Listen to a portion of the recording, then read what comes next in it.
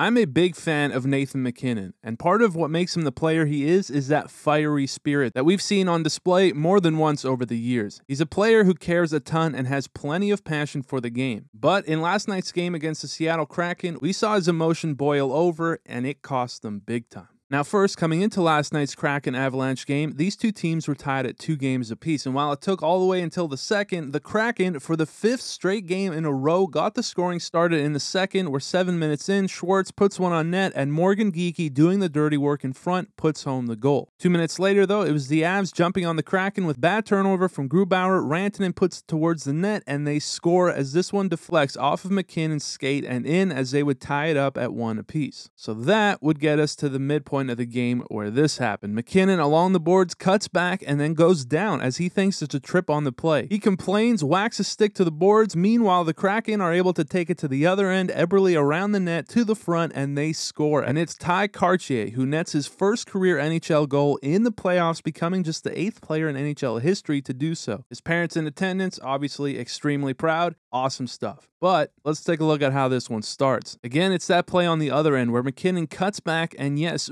Borgen loses an edge here trying to stick with MacKinnon. He goes down and gets his feet tangled up with MacKinnon's. So yeah, I could see this being called a penalty, but it is close enough that I'm also honestly okay with it not being called. Both guys went down, and yeah, but regardless of how you want to look at it, penalty or not, it was what happened next that caused the Avs this goal. MacKinnon immediately looks to the ref and complains, but the puck is right there. He plays this puck instead and I'm pretty confident Colorado maintains possession in the offensive end, but instead complaining, then losing the puck and whacking his stick along the boards cost the Avs big time as even worse than that turnover, MacKinnon, preoccupied is way late to the bench, which then causes a domino effect as Compher coming to the ice to replace him is a step behind his man, who of course was Kartye, ultimately the goal scorer here. Now we cut to MacKinnon, who's a bit in disbelief, and again, I'll let you guys decide if this is a penalty or not, but letting your emotions take take you out of the play like this, it really hurt the Avs on this particular play as the Kraken took a one goal lead.